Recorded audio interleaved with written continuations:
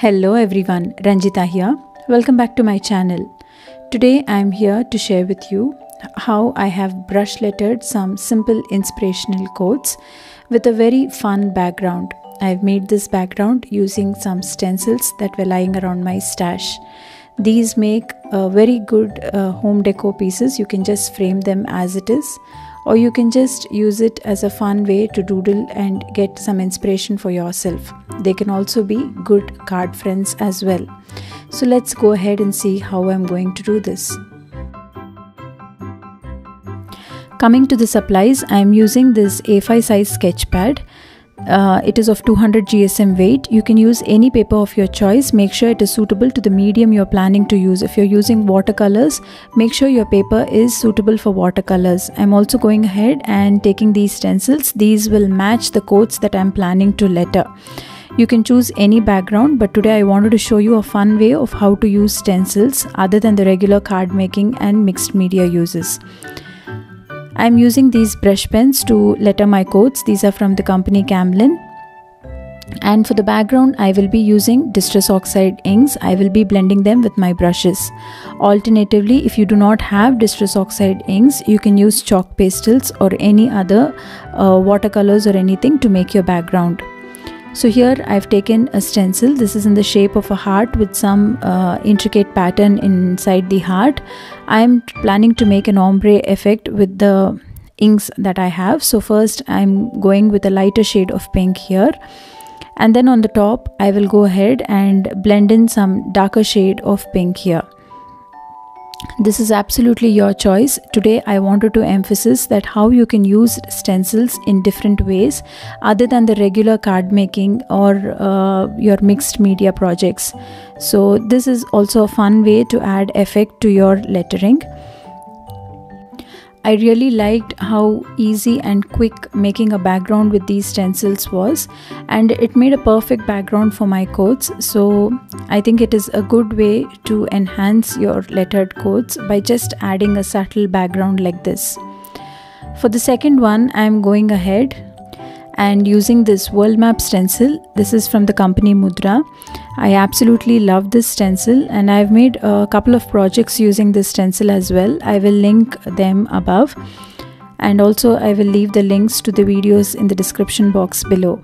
So here i am just um, shading some blue ink here all around the stencil. So my coat will have the word world so i thought this background will look uh, very good on it i'm not uh, going with a thick coat of uh, ink here i'm having dark areas here and there just to add some effect to my background as well For the third coat, I am using this wood grain stencil as a background. I am uh, sponging some ink in the shades of brown here. I really liked how this beautiful background turned out and it was a very fun way of using my wood grain stencil as well. For the fourth coat, I am using this sunray pattern or sunray stencil. This is from Craftangles. I've just uh, sponged in some shades of yellow here and there. So look around uh, this is a very fun way of using your stencils so make sure you have another look at your stencils maybe they will make fun backgrounds for your lettering quotes as well this stencil is from Craftslane for this one I wanted to make a rainbow of colors. So I'm using different shades of purples pinks yellows and blues here. This will give a good rainbow effect to my coat. So I'm experimenting with uh, different colors here. Going ahead and shading different shades of purple, yellow and making it look like a rainbow background.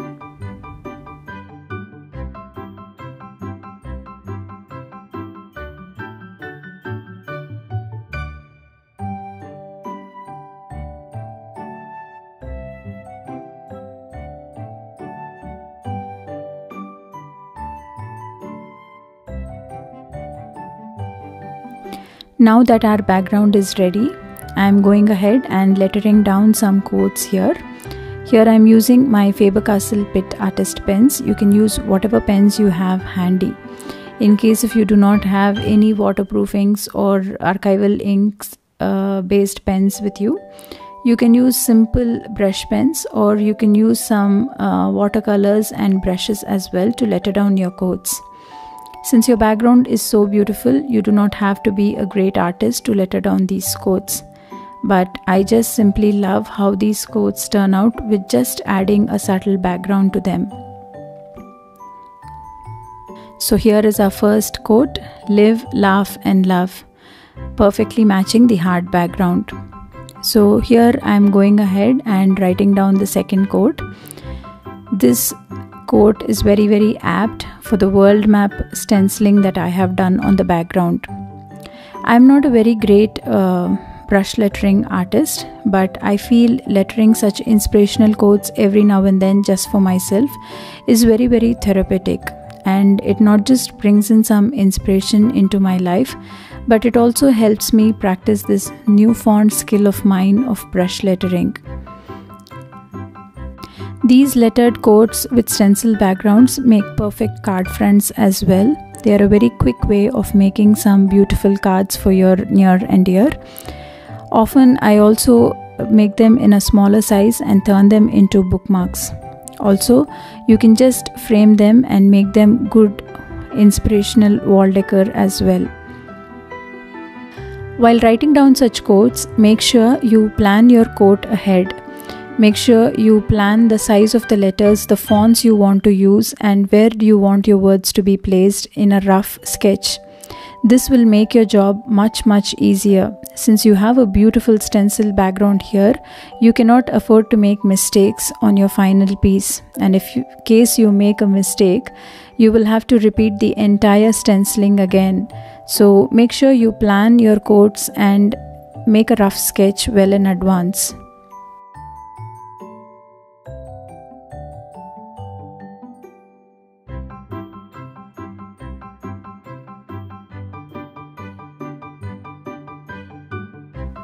As you can see, I am lettering down the words with a similar font first. This is because I've planned my quote in advance and I know which words to be emphasized. So, first I will be writing down those words and then I will be filling it with the other words in the quote. Also, in my previous videos, I have shown you how you can um, draw your own banners. I have given a good examples of around 30 banners, different sizes and different shapes, how you can design your own banners. So, in this quote, I will be using some fun banners to enhance this quote more. Adding banners and ribbons to your lettered projects makes them much more elegant and much more pleasing to look at. And this is a very simple way to enhance your lettering to another level.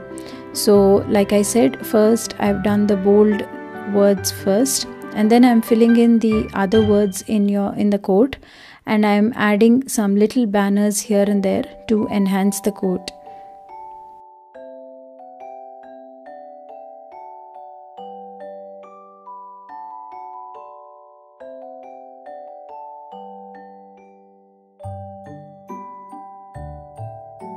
I've made a detailed video on how you can draw your own banners. It's very very easy. Make sure you check out that video. It's very fun and easy to add banners to your lettering projects and they will enhance your lettering projects to another level just by adding these simple banners. So make sure you check the video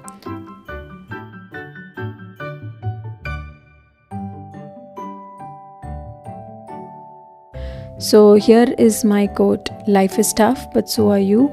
A very, very inspirational quote to lift up my daily moods. And the wood grain background went so very well with this quote, and this one happened to be one of my favorite quotes of today's video. Often in our lives, we happen to have a lot of positive energy in and around us, but all we need to do is let the positive energy get in so, here comes my fourth quote just to let us know that there is so much light around us. All we need to do is let the light shine and let it come in.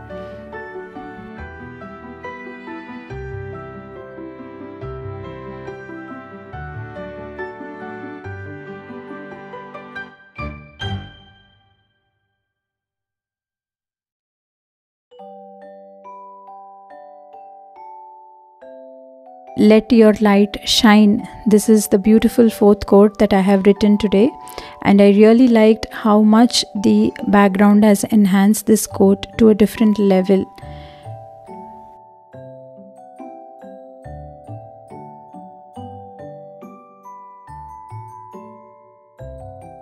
Sometimes all we need to do is dream about something and he, this brings inspiration for my fourth quote that says dream without fear. All you need to do is dream. And once you dream i'm sure you will have all the energy to achieve your dreams as well. Dreams are happy and colorful and this rainbow background with all the happy colors in it makes it very very apt for the quote that i am lettering down so here is my fifth and last quote that says dream without fear.